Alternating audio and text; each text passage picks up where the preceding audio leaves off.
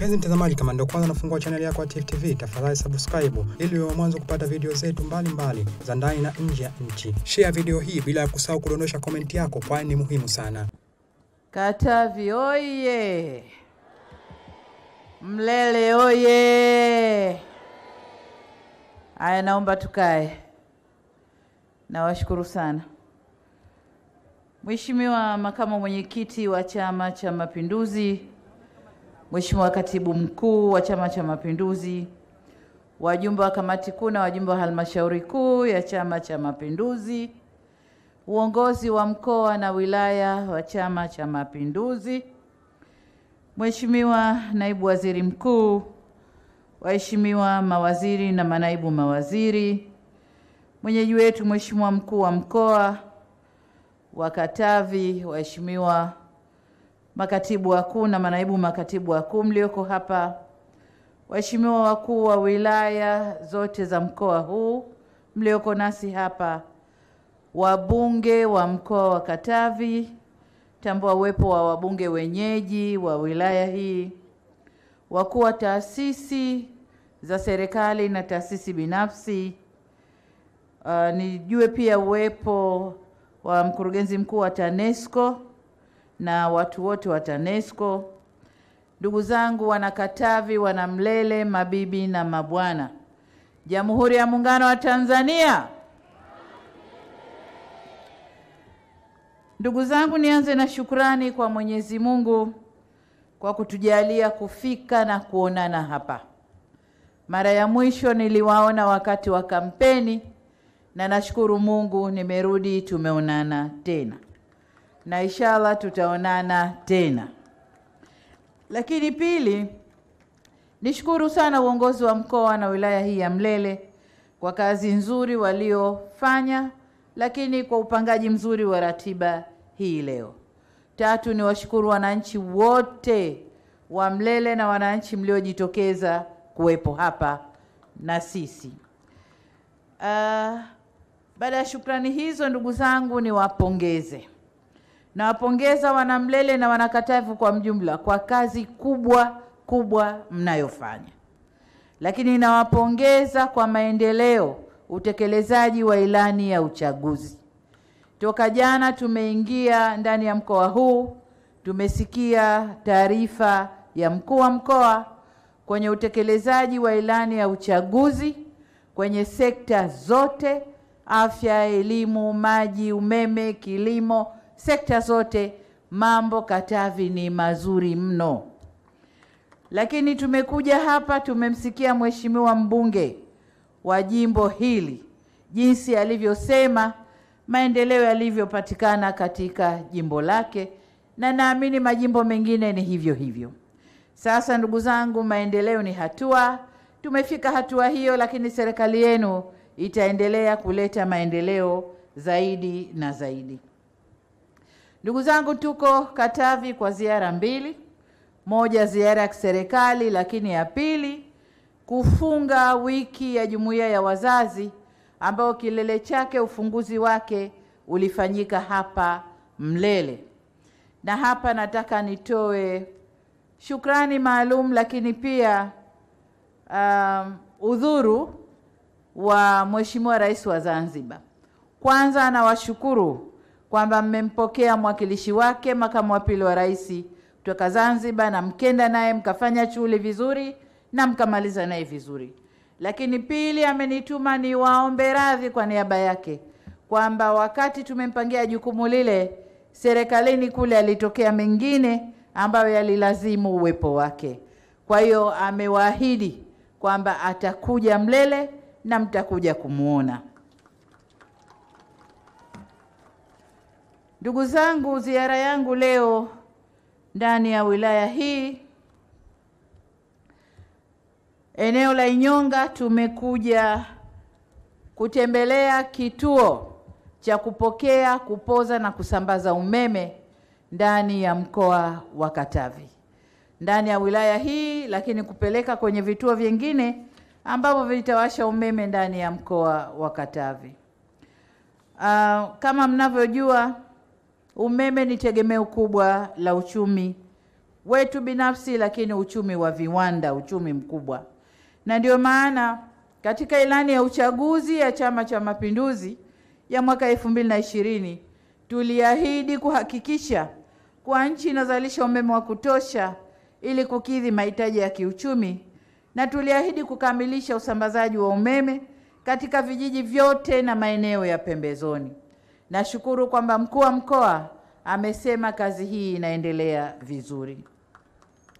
Ni kwa msingi huo sasa nimekuja hapa kwenye ziara ya kikazi kukagua uh, mradi wa kituo cha kupozea umeme cha Inyonga, lakini nimeona nikiwa pale kazi nzuri sana iliyofanywa na kwamba mwezi wa tisa mkoa huu, wilaya hii itatumia umeme wa gridi ya taifa.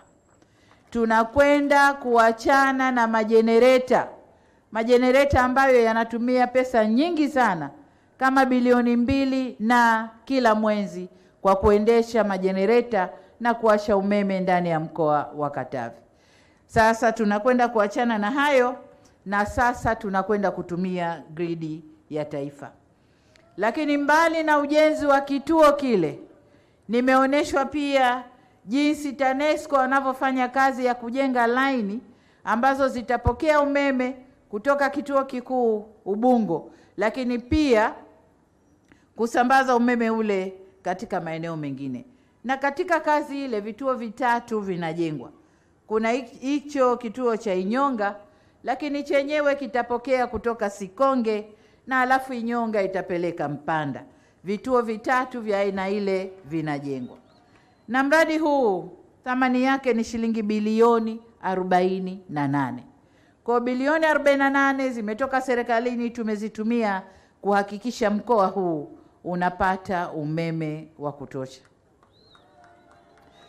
Lakini mradi huu unaendana sambamba na mradi kama nilivyosema wa njia za, za, za, za umeme ambao ule mradi wa njia za umeme kupokea na kupeleka umeme gharama yake ni bilioni mili, bilioni mia moja na kumi na sita. Hizo ni pesa nyingi sana ndugu zangu. Kwa hiyo niwaombe sana Wanakatavi, tutunze mradi huu, lakini mbali na kutunza mradi huu, tuutumieni umeme kwa maslahi ya kiuchumi. Kila anayeweza kuutumia kwa maslahi ya kiuchumi au tumie umeme kwa maslahi ya kiuchumi. Anayeweza kuweka saluni, kukata nywele kwa kutumia umeme aweke. Anayeweza kuchoma vyuma, katengeza madirisha aweke. Anayechoma mageti afanye. Kila anayeweza kutumia umeme kwa maslahi ya kiuchumi afanye. Lakini umeme huu pia utakuza uwekezaji ndani ya mkoa wetu, ndani ya wilaya yetu hii. Pakiwa na umeme wa uhakika haukatiki, wawekezaji bila shaka watakuja na shughuli za uwekezaji zitaendelea vyema. Sa, baada ya kusema hayo, ni watake Wizara ya Nishati na waziri wake mkuu ambaye ni naibu waziri mkuu yuko hapa, lakini vile vile shirika letu la TANESCO kuhakikisha kuwa mradi huu unakamilika kama tulivyojipanga. Mwezi wa tisa mradi ukamilike na Katavi ianze kupata umeme wa uhakika. Lakini mbali na kuwasha umeme wa uhakika kupitia kwenye gridi, kuna shughuli nyingine ya usambazaji na uunganishaji wa umeme kwenye taasisi, lakini hata kwenye majumba ya watu. Kwa hiyo TANESCO, kazi ya kuleta umeme kuingiza kwenye gridi ikimalizika, mjipange vyema na shughuli ya usambazaji na uunganishaji umeme kwa watu. Kwa ndugu zangu wa Mlele na Katavi, umeme huu ni gharama, nimesema fedha hapa. Kuna bilioni 48 ujenzi wa kituo, lakini bilioni mia moja na kumi na sita kujenga njia za usambazaji na kupokea umeme. Kwa hiyo umeme huu utambokuja kutumiwa ulipwe kama mtu anavyotumia. Umeme si huduma, ni biashara, ni huduma kwamba inakupa uwezo kutumia na kutumia kiuchumi, na kwa maana hiyo lazima tulipe umeme ili umeme uendelee kuwaka, vituo vyetu vifanye kazi vyema, njia za usafirishaji zitunzwe salama, umeme uendelee kuwaka. Natambua na hapa nashukuru sana baadhi ya wananchi ndani ya mkoa wa Katavi wamekubali umeme upite, fidia ifuate baadaye. Nawapongeza sana ndugu zangu kwa moyo huo, lakini nataka niwahakikishie kwamba wale wote walioko maeneo ambayo mradi umepita tumelipa fidia nusu, na, na nimeambiwa kuna kama bilioni nne zaidi zinatakiwa za kuja kumalizia fidia. Niwahakikishie fidia ile tunakuja kuilipa, lakini nawashukuru kwa moyo mliouonesha, mradi wa maendeleo upite, fidia baadaye. Huu ni moyo mkuu, nawashukuru sana ndugu zangu. Uh, miradi hii ya umeme ni sehemu ya miradi mingine kadhaa kama ilivyosemwa na mkuu wa mkoa katika sekta za elimu, afya, maji, lakini pia kilimo. Umeme ndio huo tumeuzungumzia. Sasa mbali na hayo, serikali pia inafanya kazi kubwa ya kukuza usikivu wa redio yetu ya taifa, yaani TBC hapa kata ya Inyonga na ujenzi wa minara ishirini na nane katika vijiji arobaini ndani ya halmashauri ya wilaya ya Mlele. Huko nyuma TBC ilikuwa haisikiki vyema ndani ya wilaya hii. Tumefanya kazi kubwa ya kukuza usikivu, lakini pia tunajenga minara itakayonasa mawasiliano na kufanya redio yetu isikike vyema. Wanasema taarifa ndiyo nguvu ya mtu. Jamii yenye taarifa sahihi ndiyo jamii inayofanya maamuzi sahihi, na tunataka wananchi wetu wa Katavi na wananchi wa Mlele msikilize TBC yenye ukweli na uhakika, mpate taarifa za ukweli, mpate taarifa za uhakika ili mfanye maamuzi ya uhakika. Ndugu zangu, kwa upande wa barabara zetu, um, kama mlivyoona wakati nimekuja wakati wa kampeni kutoka Tabora kwenda Mpanda ilikuwa ni vumbi tupu, lakini leo nimeteleza mpaka nimesinzia wakati nakuja huku. Barabara ni nzuri, ni maendeleo makubwa, nawapongeza sana. Lakini mbali na barabara hiyo, tunaendeleza ujenzi wa barabara za Kibaoni makutano ya Mlele kilomita hamsini, Vikonge Luhafwe kilomita ishirini na tano Luhafwe Mishamo kilomita 37 na kidogo na Kagwira Karema kilomita mia moja na kumi kwa kiwango cha lami. Kazi ipo inaendelea, na kule ambako bado kazi haijaendelea tuko hatua mbalimbali mbali za kutafuta wakandarasi, lakini waahidi kwamba barabara hizo nilizozitaja zitajengwa kwa kiwango cha lami. Miradi hiyo yote pamoja na miradi ya kuleta umeme inalenga kuleta maendeleo hapa Katavi. Niwaombe sana wananchi, itumieni miradi hii kwa ajili ya kufanya ustawi wa jamii yetu, lakini maendeleo yetu. Engezeni uzalishaji. Imesemwa hapa kwamba kuna miradi ya umwagiliaji maji ina, ina, inaendelea hapa Katavi. Kuna mingine imeshamalizika, mingine inakuja na mingine inaendelea. Miradi hii yote usukumaji wa maji ili afike kwenye mazao muweze kumwagilia inahitaji umeme. Kwa hiyo tumieni umeme kwa uhakika kwenye kilimo, kwenye biashara, kokote kile. Tukuze uzalishaji ili tuweze kukuza maendeleo yetu, lakini tukuze ustawi wa jamii yetu ya Tanzania. Vile vile nitoe rai kwenu wote wana Katavi, wana Mlele na wilaya nyingine zote kutunza na kulinda miradi hii, lakini kama alivyosema Mheshimiwa Waziri wa Mali Asili na Utalii, kutunza mazingira yetu.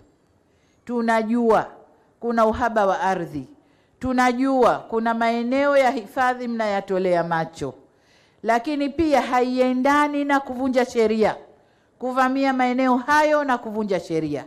Panapotokea haja, basi tukae tuwasiliane tuseme kuna haja, tuangalie serikali jinsi tutakavyoweza kukata, kama tulivyokata nyuma ekari elfu kumi zikatoka, zilikuwa za wafugaji, zimekwenda kwa wakulima.